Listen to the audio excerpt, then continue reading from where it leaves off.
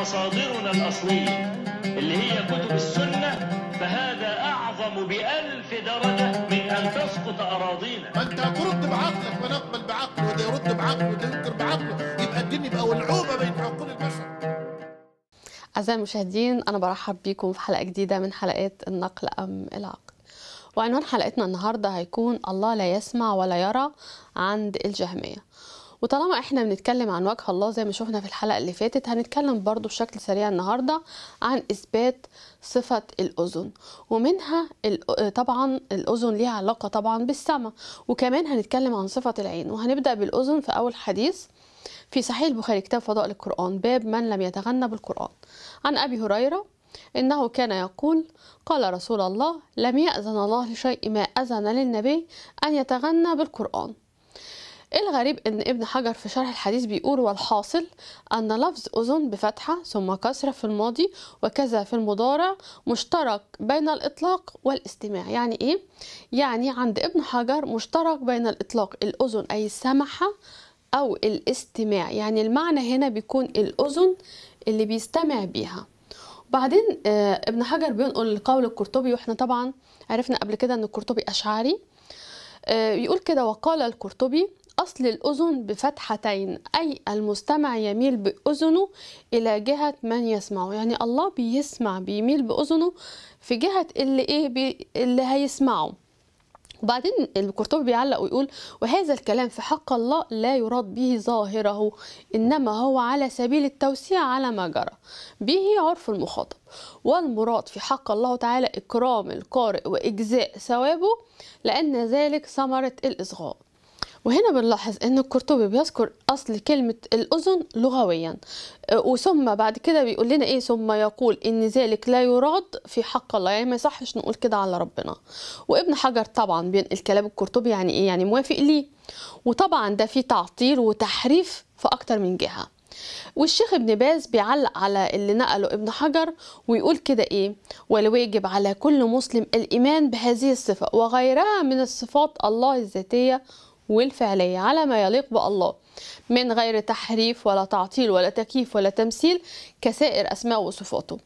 وطبعا ده اللي وقع فيه ابن حجر وهنشوف تعليق الشيخ البراك على كلام ابن حجر هيقول إيه. الشيخ البراك راح قال لنا الأذن في ثلاثة وجوه وأنا عايزاكم تركزوا معايا في الكلام الجاي آه، لأنه يعني شوية عايز فهم. يقول كده الأذن في ثلاثة وجوه منها ما هو حق والقول الثاني منها ما هو باطل. والقول الثالث اللي بيقوله لإنه ما هو باطل لإنه صرف للكلام عن ظاهره بغير دليل ومنها اللي هو القول الثالث ما لا يصح الجزم بإثباته ولا نفيه. فبيقول الأول هو الاستماع وطبعا الاستماع ده بيعلق على القول الأول اللي هو إن ده في حق الله هو الاستماع. يعني هو عايز يقول لنا الله بيسمع. الثاني بيقول إيه؟ تفسير الأذن بإكرام القارئ فإنه يتضمن نفي حقيقة الاستماع إلى الله عز وجل. وهنا عايز يقول لنا إيه؟ ده طبعا تعليق على ومنها ما هو باطل لأنه صرف للكلام على ظاهره بغير دليل. وبعدين بيقول لنا والثالث تفسير الأذن بالإصغاء بالأذن فإن الأذن لم يقم دليل على إثباتها ولا نفيها.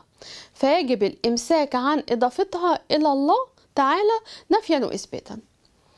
وهنا يعني عايز يقول إيه في الآخر؟ بيقول إن أهل السنة لا بينفوها ولا بيثبتوها. وده اللي هو بيقول ومنها لا يصح الجزم بإثباته أو نفيه. يعني ما بينفوش صفة الأذن ولا بينفوها. ما عندهمش دليل لا ينفي ولا يثبت. ويكمل البراق ويقول كده واقتصار القرطبي والحافظ طبعا له يعني الحافظ طبعا موافق على كلام القرطبي على ذكر الثاني. والثالث مع الجزم بإثبات الثاني ونفي الثالث اللي هو طبعا إن هو بينفي إن الله آه ليه أذن. بيقول كده غلط ظاهر.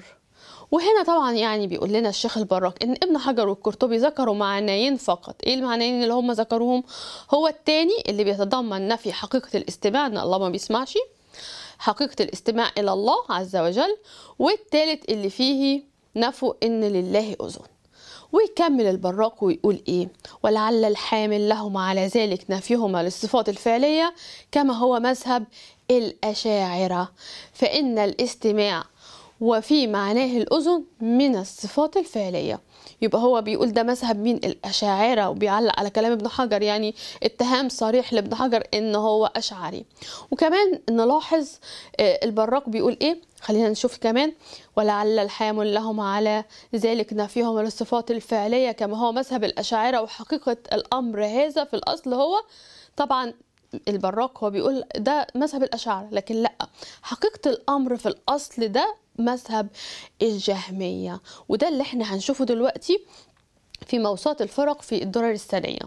خلينا نشوف مع بعض.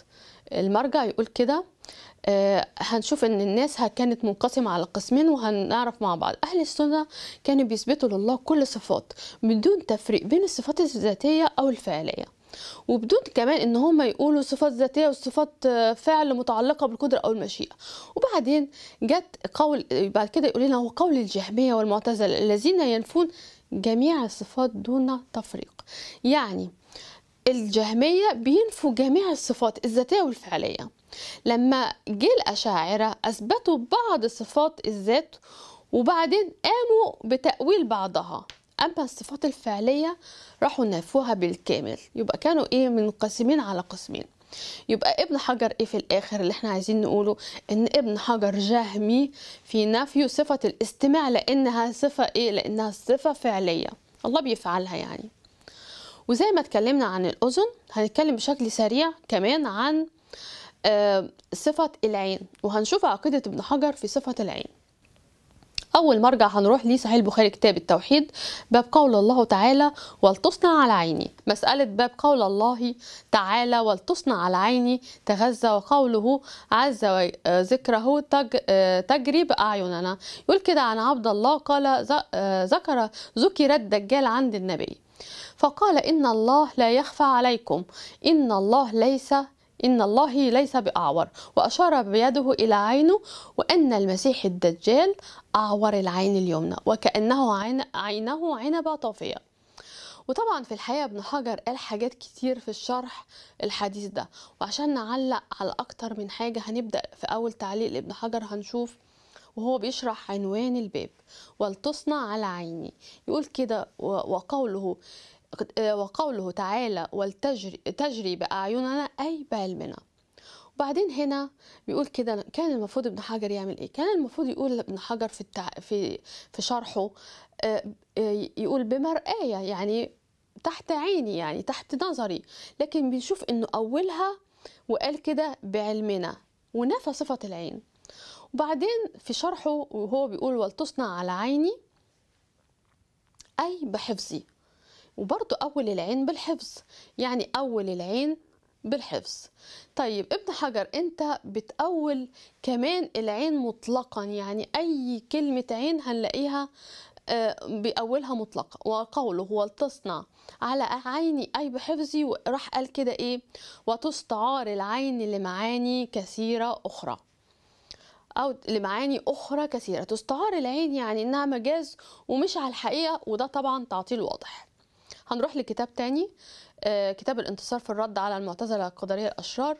وبيقول كده وأنكر ذلك المعطلة من الجهمية ومن تبعهم وزعموا أن المراد بالعين في الآيات إما العلم كما قال بذلك القاضي عبد الجبار أو الحفظ والرعاية كما هو قول الجويني في الإرشاد فردوا هذه الصفة وع- وعطلوا صفات الله عز وجل.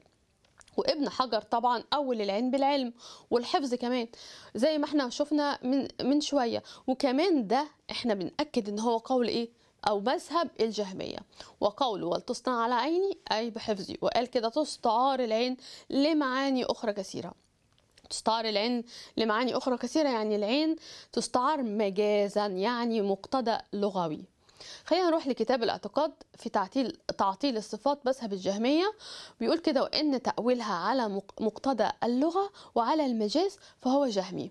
وطبعا أنا بأكد لكم تاني إن هو قال تستعار العين لمعاني كثيرة. وفي نفس الحديث بينقل لنا ابن حجر قول ابن المنير وطبعا قول ابن المنير يعني هو موافق عليه. ابن حجر قال ابن المنير قال ابن المنير وجه الاستدلالات على إثبات العين لله تعالى وهو على سبيل التس... التمثيل والتقريب للفهم لا على المعنى إثبات الجارحة. وطبعا معنى قول ابن المنير أن العين ليست صفة ثابتة لله وأن هي بس على سبيل الاستعارة لغوية يعني مجاز. طبعا الشيخ البراق آه، هيقول آه، يعني بيأكده وبيقول إيه أما قوله هو على سبيل التمثيل والتقريب للفهم لا على. على معنى إثبات الجارحه فمعناه نفي حقيقة العين عن الله تعالى وبعد كده آه، بيقول لنا كده الشيخ البراق في نفي حقيقة العين إن ده قول الجهمية. يعني فعلا البراق فعلا بيقول إن اللي بينفي العين ده قول الجهمية وده كمان أكده و... و... وإن ده مذهب المعطلة من الجهمية والمعتزلة ومن وافقهم طبعا في ال... من الأشاعرة. خلينا نلخ- نلخص الحلقة بتاعت النهاردة. ابن حجر جهمي نفى صفة الاستماع لأنها صفة فعلية وبيقول إن نفي العين قول الجهمية.